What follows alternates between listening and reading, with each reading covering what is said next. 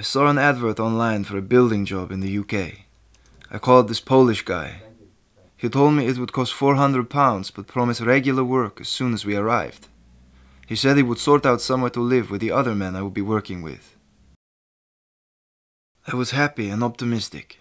I had lost my job in Poland and had no money. I was told I could pay for my transport and accommodation out of my first month's wages. It looked like a chance for a new life. I was driven to the UK in a minibus with some other people and dropped off outside the accommodation. I came to the UK three years ago looking for work. I got some occasional shifts as a cleaner, but I wanted a permanent job with a regular pay. A friend told me he knew someone who could find work for me in a salad packing factory, and he gave me a number to call. I called the number. It was a Lithuanian man. He said the work was guaranteed. I transferred 300 pounds to him, and he told me to contact a lady at a recruitment agency who would organize the work for me. I started temporary work at the factory through the recruitment agency, and things were better. Even though I wasn't earning a lot of money, I finally had a routine and some stability in my life. A man picked me up in a BMW, took me to a house and told me I could stay there, but I would need to pay a 250 pound deposit for the rent. I had no money, so he said he would add it to what I owed him for transport. He took my passport and identity card to complete the paperwork for my job. I lived with some other men who had also come over to find work. The house was overcrowded with dirty mattresses and sheets. It didn't feel safe. The job I was promised didn't exist. I wasn't given work for six weeks. I was living with no money to support myself and completely dependent on the agent for my living costs. Each week I owed him more money since I was building up debt for food and rent. The agent made me open a bank account so I could apply for jobs, but he kept the bank card. I applied for a permanent job at the factory. The man who arranged the job called me and said that I had to pay him another 500 pounds now that I had a permanent job. I told him I didn't have enough money, and he threatened to send some people to collect the money from me. The week after, I was walking home from work when a man stopped me. He grabbed me by the throat and demanded I give him money to repay my debt. He told me he would find me again soon. I heard that other people from the factory owed this gang money too. Some of them quit their jobs and went back to their home country. I eventually saved up and paid back the 500 pounds, but they told me that I owed them interest because I hadn't paid them back on time. I was taken to recruitment agencies to apply for jobs. He told me to give his address instead of the one I was living at.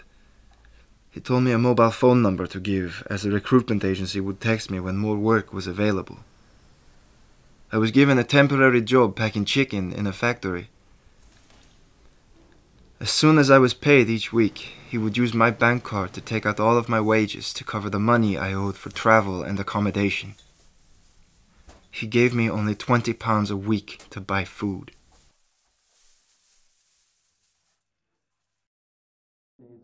I felt constantly threatened by him. Once, when I had been given only three days' work, he got angry and punched me in the face, leaving me with a black eye.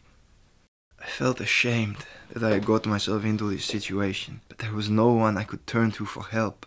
He had total control of my life, and I didn't think I would ever get out of the debt I was in. At the weekend, I went to do my shopping with a friend, and we were attacked by the gang. I was pushed around, and my friend tried to argue with them. They broke her jaw, and she had to be taken to hospital. I was terrified. My life was totally miserable. I didn't leave the house for months except for work, and I couldn't sleep because I was too scared that the gang might come to my house in the night. I wanted to ask for help, tell someone what was going on, but I didn't know who could help.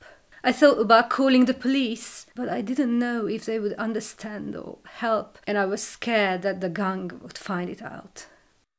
A detective came to my house with a Lithuanian translator and said he was investigating a gang that had been threatening workers in the area. He said that he could protect me from them. I told him everything that had happened, and he asked me if I would be willing to give evidence in a trial. After I had worked and lived like this for over a year, the police and gangmasters licensing authority came to my house one day. They took me to a place where I could recover, be helped to find a good job, support myself. This is all I ever wanted. Four men were arrested from the gang. And later I found out that there were dozens of workers at the factory who had been threatened by this gang. The police found new homes to those who had been badly hurt, and they also arranged protection for their families in Lithuania.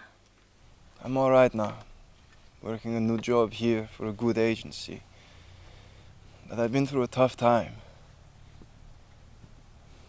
When I look back at everything that's happened, I realize how easy it is to get trapped in a really bad situation.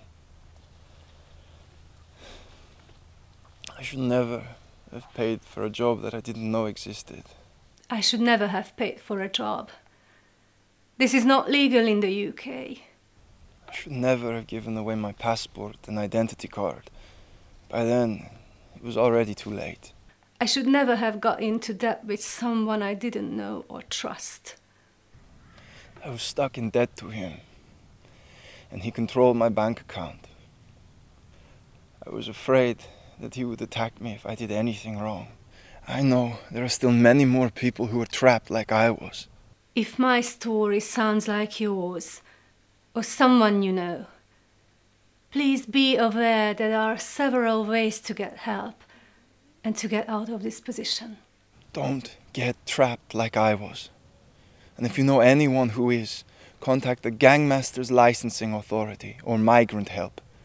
Anything you say will be kept confidential. If you are being threatened, or you think you are in immediate danger, please call the police by dialing 999. Don't suffer in silence.